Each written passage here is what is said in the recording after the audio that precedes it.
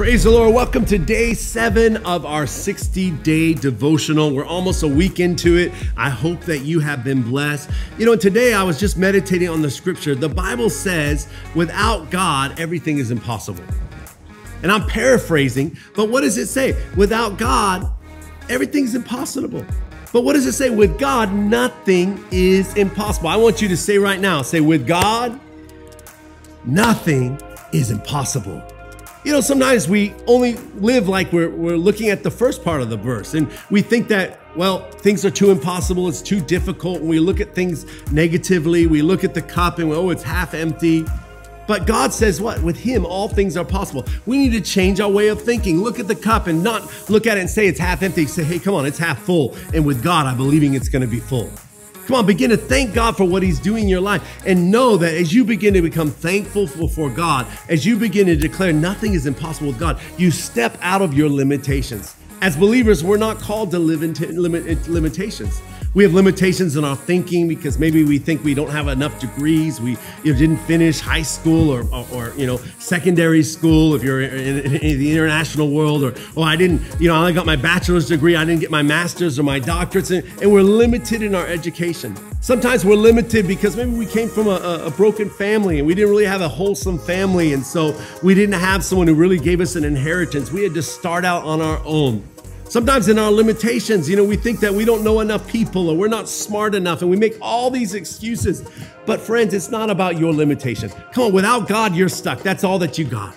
But as a son and a daughter of God, what does he say? Come on, with me, nothing is impossible. Come on, that we come out of that place of limitation and we come into God who is limitless. We get out of the natural and the circumstances. Sometimes people say, I'm under, I'm feeling this and I'm under the circumstances. Why are you under the circumstances? God hasn't called you to live under the circumstances. God's called you to do the impossible. With God, nothing is impossible. God's just looking for those that will believe him. The Bible says he's looking for those he can show himself strong. So break off the limitations. Watch your confession today. Are you looking at things negative? Are you waking up and, oh my God, it's another day?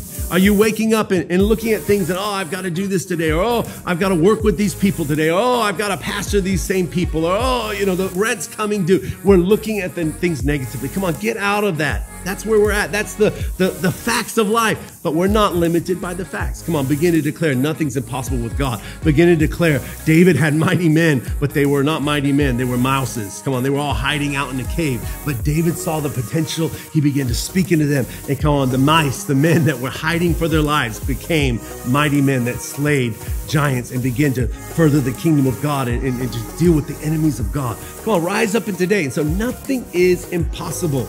Come on, today, begin to declare nothing's impossible. Nothing's impossible.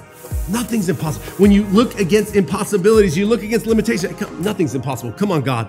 With you, I can get through this. With you, I can break the limitation. It doesn't matter the education I have. It doesn't matter how much money I have or how much money I don't have. It doesn't matter who I know, what I have or what I don't have. Come on. If you've got God, you're in the majority. Come on. All things are possible today. Declare today. Nothing is too difficult. Nothing is impossible. When you hear problems today, laugh in the face of your problems.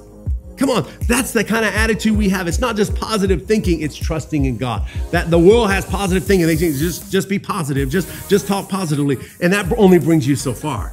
But when we have God, come on, nothing is impossible. Come on, we step in the spirit of faith. Through faith and patience, we inherit the promises of God.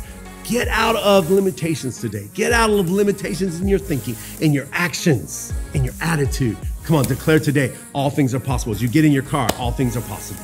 Come on, as you get on the train, all things are possible. As you walk into work and it's a difficult situation, come on, all things are possible because God is a God of the impossible. Amen. He makes the impossible possible. Today, come on, get into faith and believe that and declare that. As you begin to declare that, come on, you'll make your way prosperous as you meditate on that word today. Nothing is impossible. It's going to be a great day.